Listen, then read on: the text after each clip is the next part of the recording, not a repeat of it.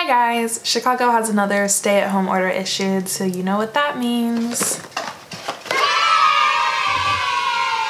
I'm just doing my roots today, which is kind of boring, but I'm making it a little more spicy because I'm not just gonna tone them. I'm gonna do this really fun fuchsia pink color from Manic Panic.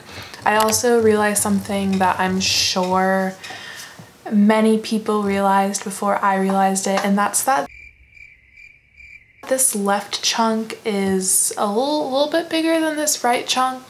There's like this piece right here that I don't have over here. So I'm gonna bleach this first and then do my roots and then I also, I have straight hair right now, so I thought it would just be like a little easier to section everything off and also my hair is very greasy because I try to extend the life of straight hair as long as I can whenever I go through the effort to actually straighten it, which is not frequently. Basically, I actually really like how the orange hair that I did for Halloween faded. It's like a very like peachy rose gold blonde color. It did fade pretty quickly though. So this is the same brand, Manic Panic, like same strain of dye. So I'm expecting this to fade pretty quickly as well. So I'm expecting this to fade pretty quickly as well. Like this is the tiniest, most inconsequential, strand of hair, but I've just been noticing it a lot lately and it bothers me and uh, I don't really have much else to do, so I'm gonna fix it.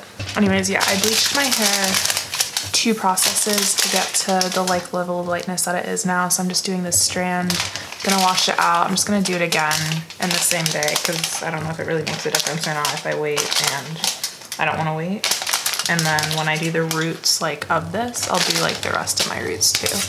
Probably none of that made sense, but that's okay. I got so many comments on the Narcissa video like it didn't lift evenly because you didn't fold the foil, you just crinkled it. And I'm like, I honestly don't know how to like fold the foil proper on my hair, but I'll try with this strand to appease the people. I'm always one to appease the people. I like to paint it on because it makes me feel professional, but it also takes a really long time, so we're just gonna Alright, I'm leaving about half an inch, quarter inch at the top with no bleach.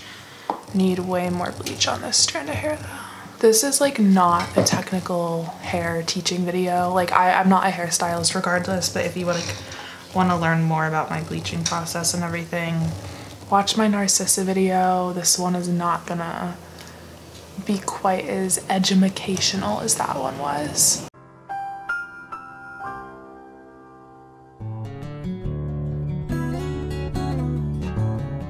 That most definitely does not count as folded nicely. It's still quite crinkly, but it does the job. I'm gonna let that process for max processing time, which is 45 minutes, not doing an incubation thing because I literally don't know how with just one little strand of hair like this, but I will when I do my roots. Don't worry, don't worry, Brad Mondo. I'm gonna be back once this little strand is lifted. Like not really sure if I should still use this. Like it still smells bleachy.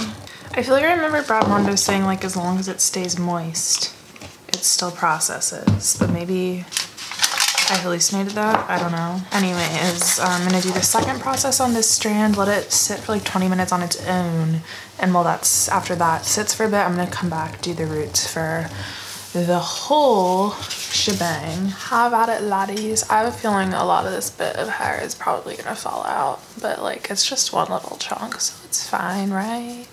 I sprayed a teensy bit of rose water on this foil. Again, don't really know if that'll help incubate, but it didn't lift like super much. Like it definitely lifted more my first process when I first dyed my hair. Okay, that was actually a pretty good fold. Are we proud? Because I'm proud. All right, I'm gonna set a timer. 15 minutes, 20 minutes, I don't know, we'll see. 15, I'll do 15. Be safe, conservative with the amount of time I leave to do my roots because it is a little bit trickier than doing the rest of me hair. And finally, it is time for the main event, doing my roots. I'm a little, a little stressed because it's hard. The last time I did it, I don't think I did that great of a job, but you know what? It's fine. All right, I have even more bleach mixed up, hopefully. this is enough. Um, this brush that came with my first pack of Manic Panic bleach I got is nice and tiny from in this kit it was a different brush they definitely were like kits that were produced at different times the first time i got it from sally beauty this time i got it from amazon so yeah the thing that's like really tough about doing roots is that you're not really supposed to overlap because a it lightens everywhere it touches obviously but like it that overlap like it, it's already bleached hair um, and I don't really know what the trick to that is other than really precise hands. So I'm trying my best. I'm obviously not perfect. Um, but just a warning if you're doing your roots at home, like if you damage like that overlapping part too much, like it can make your hair fall out.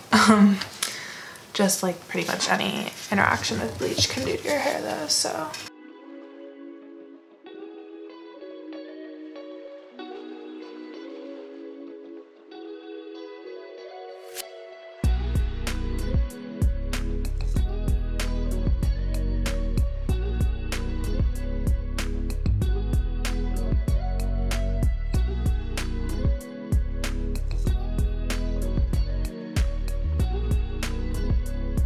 Actually so bad. You're probably cringing so hard while watching this. I cringed while watching this and I, it's my hair. Mm.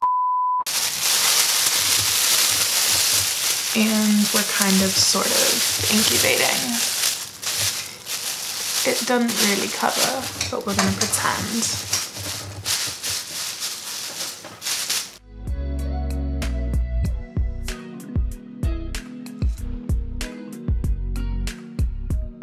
All right, so I have a timer set for 15 minutes. I'm gonna keep an eye on it the whole time. I could do this up to 30 minutes based off of like the time left from this, but I think 15 is gonna be enough just seeing how light the roots are already getting because the heat helps it process really, really quick.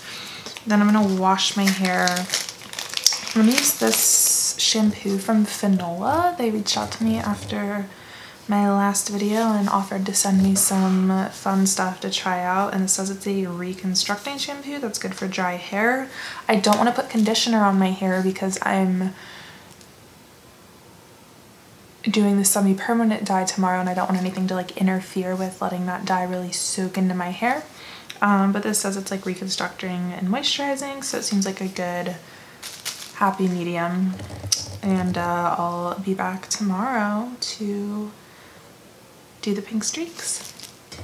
All right, time to go pink. This is how my little bleach job turned out. We've definitely got some different tones going on in here because the old hair has like remaining semi-permanent dye and this hasn't been toned or anything. So there's like a solid line of like yellow versus pink and then like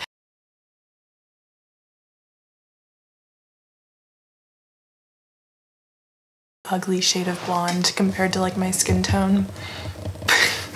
Anyways, so I'm just brushing through tangles and everything to help make sure the color goes on nice and smoothly.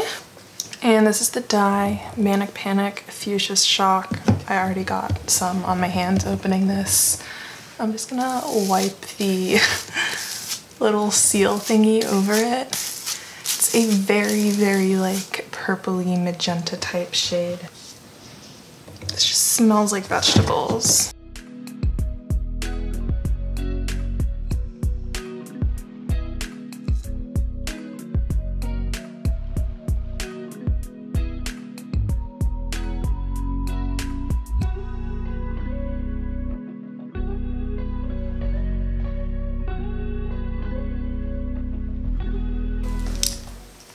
And I'm plastic bag wrapped. This A helps keep color from transferring onto anything while I'm just chilling, vibing, minding my business around the house and it helps lock in heat which will help the cuticle open up and it will absorb the color better.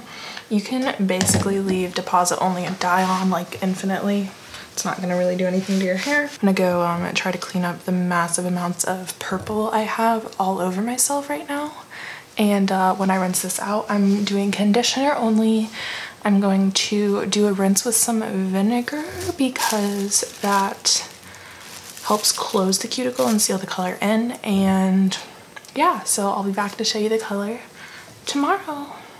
And this is how it turned out. And this is actually after like six washes because I have the attention span of a chinchilla and I always forget to finish the videos that I've started. So I did this like three weeks ago at this point. I, I'll pop up a picture of how it looked when I first did it. I don't think this is faded like at all. At this point, I've kind of been trying to fade it because I really wasn't planning on having pink hair for this long. I definitely thought it was going to fade kind of quickly because I'm used to Manic Panic fading quickly, but it is what it is. it is a fun color. A lot of people think it's more of a red than a pink, but I think it's like a fun hot pink color. So yeah, this is how it looks. Uh, let me know if y'all have any other questions. Hope you enjoyed watching another somewhat chaotic hair dye video. Thank you so much for hanging out with me. I love y'all and uh, currently trying to figure out what color I'll dye these next. So if you have any suggestions, let me know. Maybe I'll uh, do your color suggestion. um, I love you guys and hopefully I will see you in my next video. Bye.